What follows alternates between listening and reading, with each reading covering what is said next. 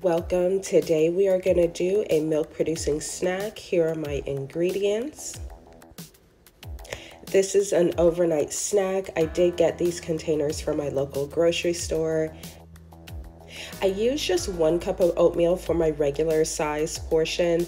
I did a double portion in the second container just to have some to make for a couple days. You want to add your dry ingredients first and then your liquids.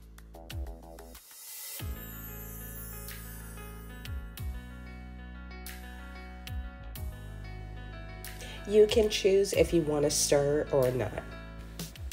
This snack does help with milk production. You can add other ingredients like flax seeds, peanut butter, fresh fruit, whatever you like, and whatever will help produce your milk even more. For the full video, head over to Momma Nurse on YouTube.